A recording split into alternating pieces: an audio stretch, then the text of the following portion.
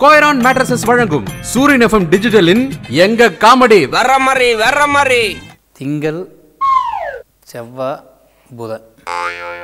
வியாழன் வெள்ளி சனியில் நான் இங்கே இல்லை. இந்த மூணு நாளில் தான் இங்கே இருக்கேன். சாதத்தை கொடுத்துட்டு கம்முன்னு இருந்தால் வேலைக்கு ஆகாது. நீங்க ஏதோ கட்டம் போடுறீங்க பாக்குறீங்கன்னு நினைச்சேங்க. அது இல்லை நான் பாட்டு ஏதாவது நீங்கள் என்ன வந்த விஷயத்த அதாவது என் ஜாதகத்தை போய் ஒரு மரியாதைக்கு வந்ததுக்கு நான் இங்கே பண்ணிட்டு இருக்கேன்னா ஐயா வணக்கம் உங்களை பார்க்க வந்தேன். அப்படின்னு ஏதாவது? சொல்லிட்டாங்க நீங்க தாங்க இந்த ஜாதக புக்கை வாங்கி வச்சுட்டு பேசுறீங்க. உங்கள் ஜாதகம் தான் நான் சொல்லக்கூடாது. ஓ அப்படியா? நான் வேற சரி சரி சரி. சொல்லுங்கள் இப்போ சொல்லுங்கள் என்ன? உங்கள் இது சொல்லுங்கள் என் ஜாதகத்தை போய் பார்த்துருக்காங்க சார். யார்? எங்க அம்மா அப்பா. எங்கே?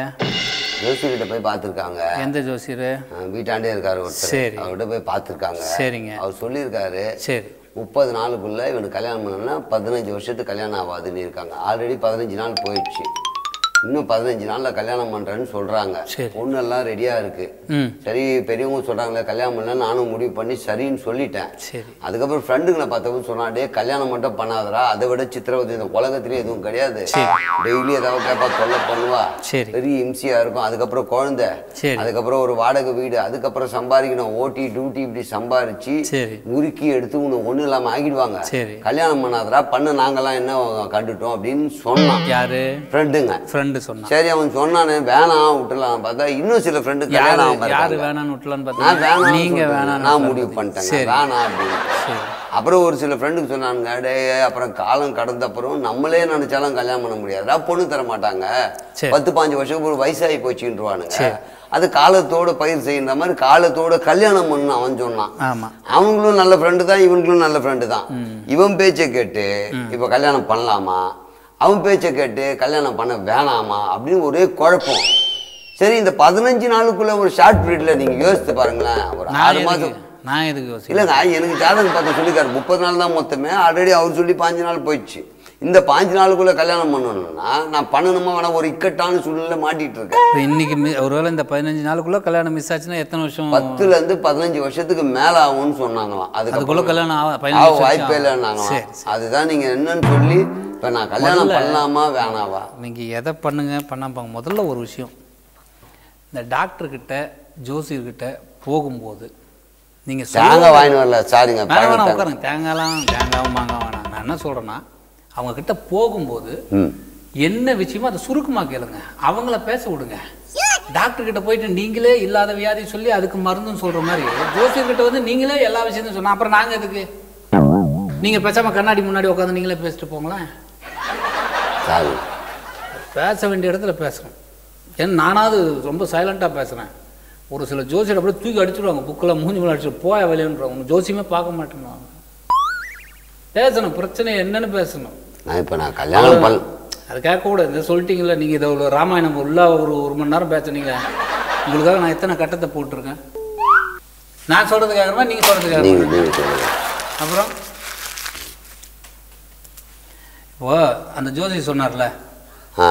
எத்தனை நாளுக்குள்ளே பண்ணலன்னா பதினஞ்சு வருஷம் நடக்காதுன்னார்ல எத்தனை நாள்? முப்பது நாள். அவர் சொல்லி ஒரு மாசம் டைம் சொல்லியிருக்காரு. அதுல பதினஞ்சு நாள் அதான் நான் இப்போ தானே சொன்னேன். சுருக்கமாக சொன்னேன்னு ஆ? கரெக்டாக சொல்லிடுறாரு. பதினஞ்சு நாளுக்குள்ளே இன்னும் பதினஞ்சு நாளுக்குள்ளே கல்யாணம் நடக்கலன்னா உங்களுக்கு பதினஞ்சு வருஷத்துக்கு கல்யாணமே நடக்காது.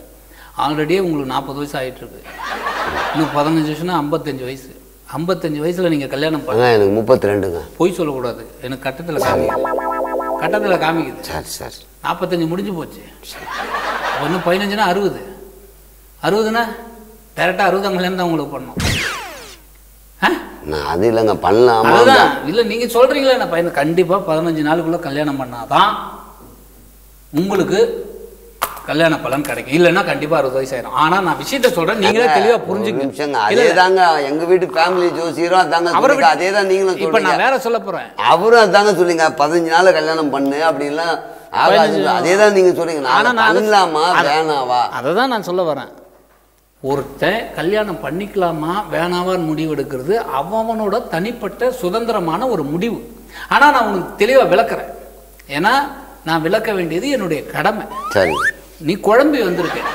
குட்டையில் கல் போட்டால் எப்படி குழப்பி வந்திருக்குமோ குழம்பி தெளிவாக இல்லாமல் குழம்பா இருக்குமோ அது போல இருக்கு. அதை நான் தெளிவுபடுத்துகிறேன் ஆனால் அந்த குட்டையில் இறங்கலாமா வேணாமான்னு முடிவு பண்ண வேண்டியது உன்னுடைய முடிவு. சொல்லுங்க. உன்னுடைய ரொம்ப சலிச்சுக்கிறீங்க? சலிச்சுக்கலங்க. ரொம்ப இதுவா இருக்கணுங்க. ரொம்ப இதெல்லாம் வந்து இல்ல இல்ல அதுக்காக அப்படிலாம் இல்ல. கோயில் சாமி அது நான் சொல்ற கேட்கறத தெளிவா கேட்டுங்க சொல்லுங்க. இப்ப கல்யாணம் பண்ணிக்கலாம் அப்படின்னு ஒருவேளை நீங்க முடிவு எடுத்தா. நான் அதுதாங்க. சொல்றேன். நீ முடிவு எடுத்து நான் சொல்றேன் அந்த விஷயம் ஒருவேளை கல்யாணம் பண்ணிக்கலாம்னு முடிவு எடுத்தீங்கன்னா எவ்வளவு பிரச்சனை இருக்கு தெரியுமா? எவ்வளவு பிரச்சனை இருக்கு? அந்த பிரச்சனைலாம் தெரிஞ்சே நீங்க போய் கல்யாணம் பண்ணிக்கலாம் அப்படின்னு முடிவு பண்ணா பண்ணிக்கலாம். என்னென்ன பிரச்சனை சொல்றேன்னு கேட்டுங்க. இப்போ நீங்க சிங்கிளா இருக்கீங்க. நீங்க ஏதோ முடிவு எடுக்கிறீங்க. இன்னைக்கு சினிமாவுக்கு போலாம்னு நினைக்கிறீங்க. போயிடுவீங்க நாளைக்கு ஊருக்கு போலாம்னு நினைக்கிறீங்க. போயிடுவீங்க ஆனா கல்யாணம் ஒண்ணு ஆயிருச்சுன்னா நீங்க தனிப்பட்ட முறையில் எந்த முடிவும் எடுக்க முடியாது. உங்களுக்குன்னு ஒருத்தர் இருக்காங்க உங்க ஒய்ஃப் இருக்காங்க. அவங்களையும் நீங்க தியேட்டர் கூட்டு போகணும்னு நினைப்பாங்க. அதனால அவங்களுக்கும் சேர்த்து டிக்கெட் புக் பண்ணும். பைசா எக்ஸ்ட்ரா ஆகும். ஊருக்கு நீங்க தனியா போலாம்னு நினைச்சா அவங்க தூக்கி போட்டு மெரிப்பாங்க நானும் கூட வருவேன்னு சொல்லுவாங்க.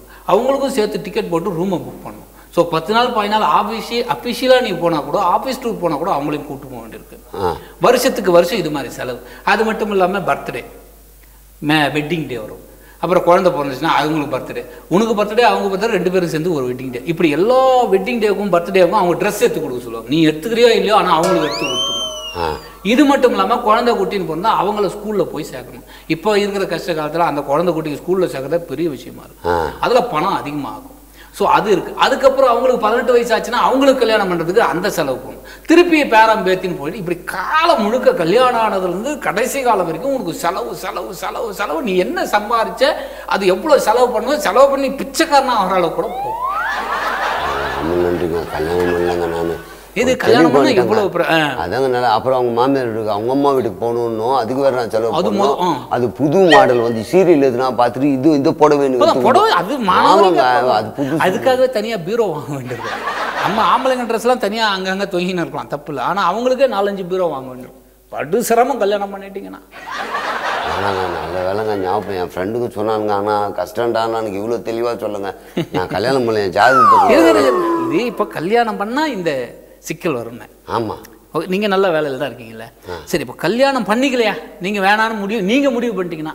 ஏங்க ஆ, ஆமா நீங்க ஆமா, முடிவு. பண்ண கல்யாணம் ஆமா வேணாம் தான் இப்போ முடிவு பண்ணேன் ஏன்னா இவ்வளோ சிக்கல் இருக்குல்ல வேணாங்க கல்யாணம். சமுதாயத்துல உங்களை ஒரு பயனும் மதிக்க மாட்டான். ஏன்? பத்திரிக்கை வைக்க வரவங்க கூட உங்க பேரை போட மாட்டான். உங்க அப்பா பேரை போட்டு தான் கொடுப்பான். நீ ஒண்டி கட்டல? களவாணி பையன். போனா போதுங்க ஒரு வீட்டு கல்யாணம் சோறு ரேஷன் ரேஷன் கார்டு கூட கிடையாது. ஏங்க? எப்படி குடும்ப தலைவனா தானே உனக்கு குடும்பம் கிடைக்கும்? குடும்பம் தான் தானேப்பா குடும்பம் குடும்ப அங்கத்தினரா ஒரு பேர் போட்டு போட்டு உங்க அப்பா பேர் தான் இருப்பான். இல்ல உங்க அண்ணன் பெரிய ஆளா இருந்தா உங்க அண்ணன் பேர் தான் போடுவாங்க. கல்யாணம் ஆகாத கல்யாணம் ஆகாதவனுக்கு எதுக்குங்க? ரேஷன் கார்டை கொடுக்க மாட்டாங்க. அப்படிலாம் கிடையாதுங்க. எங்க ரேஷன் கார்டுல என் பேர் கல்யாணம் ஆகாதவன் பேரே இருக்காதா? பேர் இருக்கும்பா. ஆனா ஒரு மரியாதை இல்லப்பா. உனக்குன்னு தனிப்பட்ட கார்டு கொடுக்க முடியாதுப்பா. அது தப்பு அது. அப்ப இது இதெல்லாம் விட்டுரு. ரேஷன் கார்டு இப்ப ஆ, சரி, தனியா இல்லை சம்பாதிச்சு- எம அழுதான். அதான், இப்ப அழுது. எம அழுதான். நீ நல்லா சம்பாதிக்கிற அதான் உனக்கு பிரச்சனை இல்லை. நல்லா சம்பாதிக்கிற. ஆனா பாரு ஒரு இன்னும் ஒரு பதினஞ்சு வருஷத்துக்குள்ள உனக்கு அறுபது வயசு ஆகி போச்சுன்னு வச்சுக்கோ. அப்போ நீ சம்பாதிக்கிற. பணமெல்லாம் இருக்கு. தப்புன்னு போயிட்ட. உனக்கு கூட பிறந்தவங்க அது இதுன்னு எதுவுமே இல்லை. அந்த சொத்து எங்க போகும்? நீ சம்பாரிச்சு கோடி கோடியா சம்பாரிச்சு.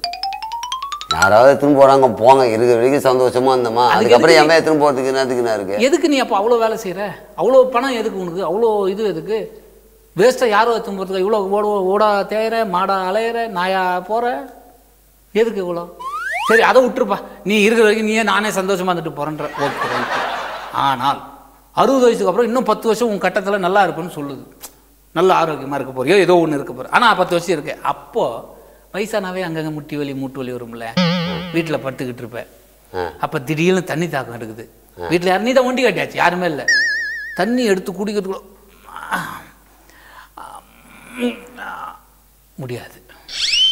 முடியாது. பத்து நிமிஷம் கால் மணி நேரம் அங்கே போய் பக்கத்தில் இருக்க டம்ளர் இருக்கு. மாத்திரை போகிறதுக்கு ஏன்னா அந்த காலத்தில் பிபி கிபி எல்லாமே வந்துடும் எல்லா வியாதிக்கும் மாத்திரை போட்டு நீ நடமாடணும் என்கிட்ட கோடி கோடியா பணம் இருக்கு. யாரும் ஒரு ஃபிக்ஸ் பண்ணிட்டு வீட்டுல மாத்திரை எடுத்து கொடு தண்ணி எடுத்து கொடு சமைச்சு கொடுன்னு நான் அதுக்கு ஆள் வச்சிருப்பேன் எக்ஸலண்ட் எக்ஸலண்ட் நல்ல முடிவு. ஆனால் ஒரு தன்னோட பொண்டாட்டி புருஷனை பார்த்துக்கிற மாதிரி பசங்க அப்பாவை பார்த்துக்கிற மாதிரி இதெல்லாம் அவங்க பார்த்துப்பாங்களா பணம் வாங்குறவங்க தேவை கடமையாக செய்வாங்க. இவங்க பாசத்தோட செய்வாங்க. அப்போ நீ இந்த உலகத்தில் இருந்து என்ன பிரயோஜனம்? நீ பிறந்ததுன்னு நோக்கம் என்ன? இந்த பிரபஞ்சத்தில் நீ என்னத்தை விட்டுட்டு போக போற? ஆ? இது கல்யாணம் பண்ணலாம் இவ்வளவு இது இருக்கு. அதாங்க இப்போ நான் கல்யாணம் பண்ணா இவ்வளோ சிக்கல் பரவாயில்ல. கல்யாணம் ஆகலாம் கடைசி காலத்துல எனக்கு ரொம்ப சிக்கல் ஆயிடுது ஏன்னா நீங்க சொல்ற மாதிரி அது எதனா நம்மளை பார்த்துக்கிறதுக்கு ஒரு ஆள் வேணும். கல்யாணம் ஆனால் இந்த பிரச்சனை இது எதுங்க பெட்ரு ரெண்டுல எதனா ஒன்று சொன்னீங்கன்னா முதல்லயே நான் சொல்லிட்டேன். எங்கங்க முதல்ல இதாங்க சொன்னீங்க? தெளிவாக நான் சொல்கிறேன் நீ புரிஞ்சு நீ முடிவு எடுத்துக்கன்னு. அவ்வளோதான் இதுதான் உன்னோட கட்டத்தில் சொல்கிறது கட்டத்தில் சொல்கிறது பதினஞ்சு நாளுக்குள்ளே கல்யாணம் ஆனால் உனக்கு குடும்ப வாழ்க்கை. பல கஷ்டம் இருக்கு. இல்லை பதினஞ்சு நாள் கல்யாணம் பண்ணலைன்னா கடைசி வரைக்கும் நீ கல்யாணம் பண்ண முடியாது. கடைசியில நீ இவ்வளோ கஷ்டப்படுவ இதுதான் உன் ஜாதகம். நீ முடிவு எடுத்துக்கோ. முதல்ல கஷ்டப்படுறது பரவாயில்லையா? கடைசியில் கஷ்டப்படுறது பரவாயில்லையா? எதுங்க பெட்ரு அது நீ தான் முடிவு பண்ணிடணும். தனி மனிதனோட சுதந்திரத்தில் நான் என்றைக்குமே தலையிடுறது நீ முடிவு ஜாதகத்தை கொடுங்க.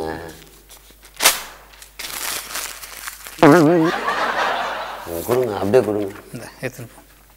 நான் முடிவு நான் பாஞ்சு நாள் ரொம்ப ஷார்ட் பீரியட் அது எக்ஸ்டெண்ட் பண்ண எதுனா யா யாகம் கீகம் எங்கன்னா போய் வந்தா அது எங்கனா போங்க அதை பற்றி நம்ம ஒன்றும் சொல்கிறது இன்னொரு ஒரு ஒரு மாதம் எக்ஸ்டெண்ட் பண்ணால் இந்த பாஞ்சு நாளுன்றது ஏதாவது பண்ணி என்ன வேணாலும் நடக்கலாம். நம்ம ஒன்றும் பண்ண முடியாது. நான் பார்த்துக்கிறேன் அது உங்கள் விருப்பம். இந்த உலகத்துக்கு வந்துட்டோம். கல்யாணம் பண்ணிட்டா கஷ்டம் இருக்க தான் செய்யும். ஆனால் அந்த கஷ்டம் எதுக்கு? நம்ம வந்ததை நிரூபிச்சுட்டு இந்த உலகத்தில் வாழ்ந்தோம் பிறந்தோம் போனோம்னு இல்லாமல் நம்ம சந்ததிகளை வளர்க்கணும். அவங்களுக்கு பல நல்ல விஷயங்களை சொல்லணும். அதனால் கல்யாணம் பண்ணிட்டா கஷ்டம் இருக்குமே தவிர ஆனால் கல்யாணம் பண்ணிக்காமல் இருக்காதீங்க. கல்யாணம் பண்ணலாம் அதை விட கஷ்டம் அதிகமாக இருக்கும். ஓகே. கோயரான் மேட்ரஸஸ் வழங்கும் சூரியன் எஃப்எம் டிஜிட்டலின் எங்க காமெடி? வர்ற மாதிரி வர்ற மாதிரி. கோயரான் மேட்ரஸஸ் தடையில்லா நிம்மதியான உறக்கத்திற்கு கோயரான் மேட்ரஸஸ்